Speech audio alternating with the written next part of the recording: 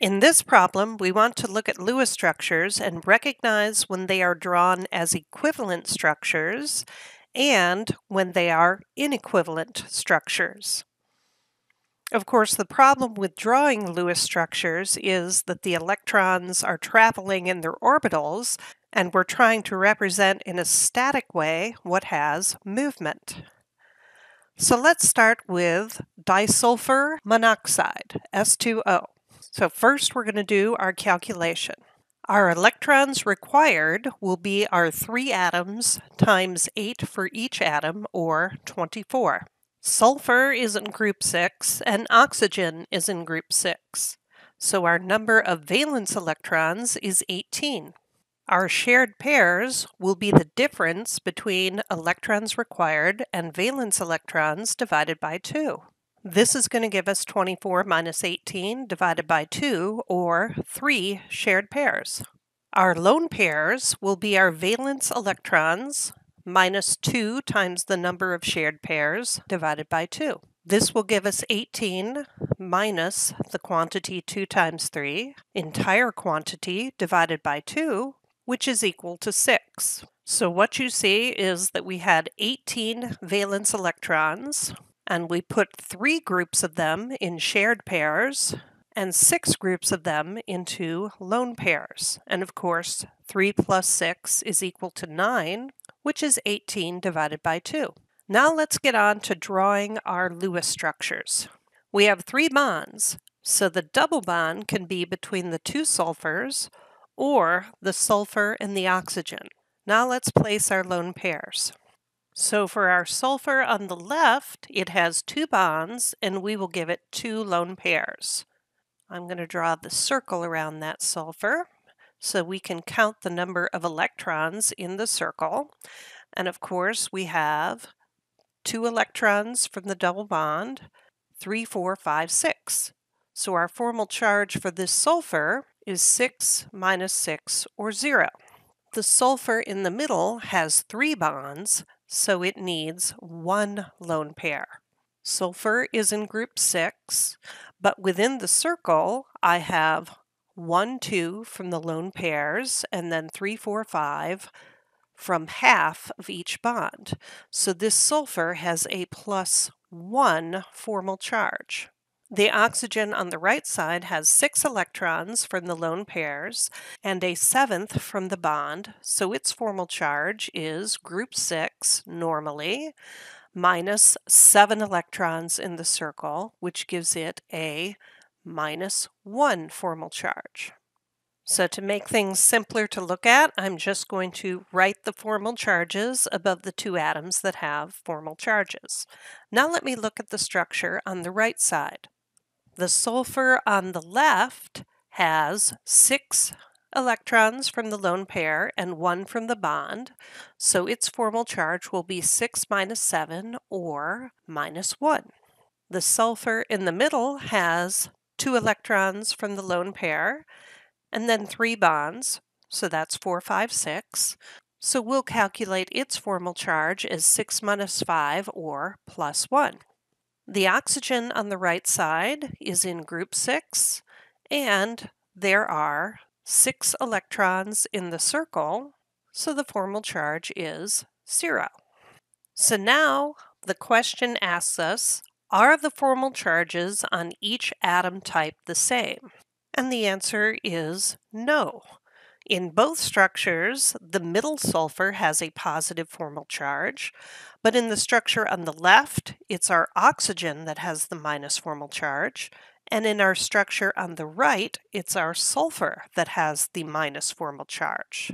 So our answer is no.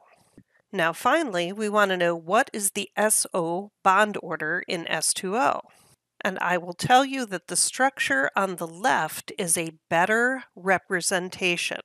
That's because it is lower energy, because the minus one formal charge is on oxygen, and that's because oxygen is more electronegative than sulfur. Therefore, it can bear the minus one charge better. So from this point on, we're going to ignore the structure on the right and focus only on our best structure. And what we see in that structure that is our best structure is one bond between sulfur and oxygen. All right, let's move on to the second part of this problem. Now we'd like to do the same process for SO3. So our electrons required is going to be our 4 atoms times 8, which is 32 electrons.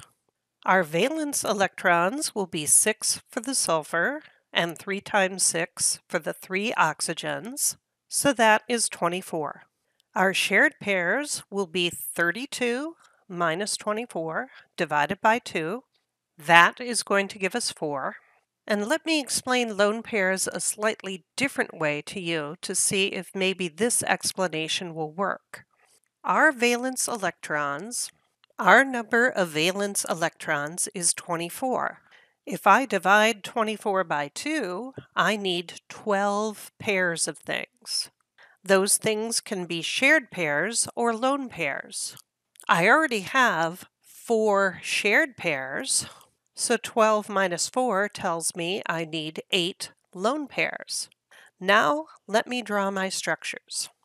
I can have my double bond to the oxygen either to the top oxygen, the right oxygen, or the left oxygen. Now let me put my lone pairs around each of the oxygens. I don't need a lone pair on sulfur because it already has four bonds. So I've put my lone pairs around the left structure, and now let me get my formal charges. This oxygen that I've circled has seven electrons in the circle, so 6 minus 7 gives it a minus 1 formal charge.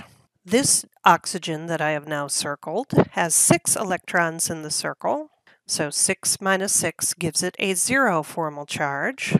And this new oxygen that I have circled has seven electrons in the circle and is used to six, so it has a minus one formal charge. And of course, we can't forget the sulfur. Sulfur is group six, but it has four electrons, one from each bond when I circle it, so it has a plus two formal charge. Now, I trust you realize that anytime I have a single bond between sulfur and oxygen, I'm going to wind up giving it three lone pairs and a minus one formal charge. Anytime I have a double bond to oxygen, I'm going to wind up giving it two lone pairs and a zero formal charge.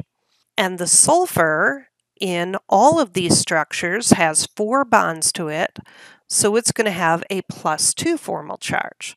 So let me just fill the rest of that in for you. So I hope when you look at all these structures, you realize that in each structure, our sulfur is plus 2 formal charge. We have one oxygen that is 0 formal charge and two oxygens that have a minus 1 formal charge. So are the formal charges on each atom type the same? In this case, our answer is yes. So that means our three structures are all equal energy representations. And it's inappropriate for us to lock the electrons in the double bond just between one set of sulfur and oxygen. In fact, that electron pair that's part of the pi bond, which you'll learn about later, can travel between all the oxygens. So in this case, since they're all equal energy, we have to average the bond order. So you notice that we have four bonds over three bonding regions. So our bond order is a little bit stronger than a single bond it's 1.33 or 4 thirds. So getting to the last part of this, why is the sulfur-oxygen bond order in S2O and the sulfur-oxygen bond order in SO3 calculated differently? The reason is because of the answer to this question. Are the formal charges on each type of atom the same? For S2O, our answer was no. So we focused on the best structure. For SO3, our answer was yes.